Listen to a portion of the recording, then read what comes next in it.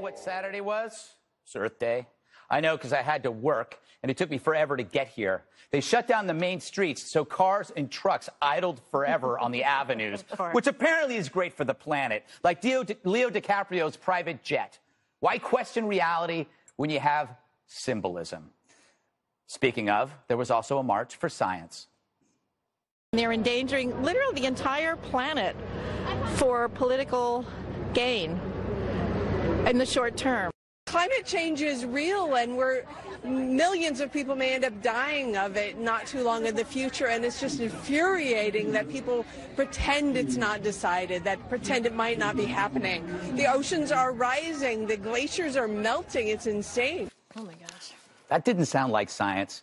And I love science. It's given us so much water purification, antibiotics, light bulbs, robot dinosaurs at monster truck rallies.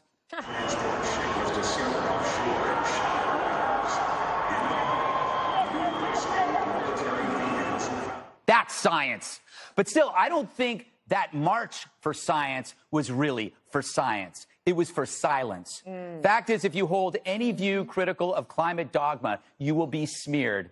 Bill Nye, the science mascot for Botox reporters, scolded CNN for having an actual real physicist on the program to debate him. And I will say, much as I love the CNN, you're doing a disservice by having one climate change skeptic and not 97 or 98 scientists or engineers concerned about climate change. Oh, yeah, that would work. So you can't even have a scientist, one scientist on, to question a comedian who got his degree in mechanical engineering. See, Bill breaks the golden rule of science. He's mocking skepticism, which is the spine behind the scientific method. An actual scientist embraces debate because it sharpens their research. Look, you can still want clean air and clean water, but you can also question climate predictions too because they're often horribly wrong. But Bill paints everyone a critic as anti science, even those who tread carefully through the data. So why should debate scare Nye? Because climate fear is his livelihood, it's his game. And if you don't play along, then you're off the field. And that way he can't lose. And so far it works. It got him a new show. So, uh, if I understand this, we're supposed to walk with intentionality. One, two, three, four, five.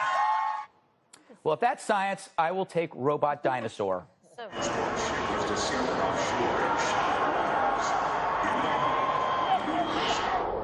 Kimberly, uh, you're a prosecutor, which is like being a scientist. Yes. Um, science is about stating... prosecutor of justice, Greg. That's right. Um, science is about stating a theory, yeah. then attempting to disprove it. You want people to disprove it because that makes your theory or hypothesis stronger. He doesn't want that. Why? Well, because he doesn't want the facts and the science out there because then he might lose his show, right? Yeah. So there'd be a problem. And you can't walk with intention and talk with intention if the facts get in the way, right? But this is what we saw too during the Obama administration. Sorry to upset you, Bob. But they refused to comply with requests to release the internal data and the information that really the public has a right to see to back these claims up. Right. Right? What are they so afraid of? Why don't they want to turn it over despite subpoenas and requests?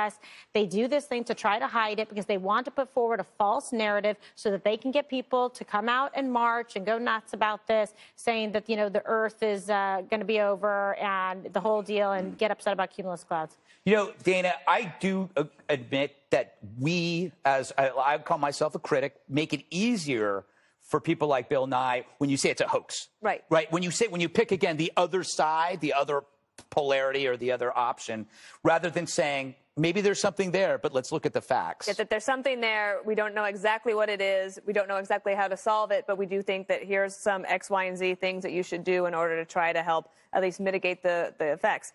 Um, what's interesting is that in the next 100 days, um, after this first 100 days ends, uh, the White House is going to have to decide.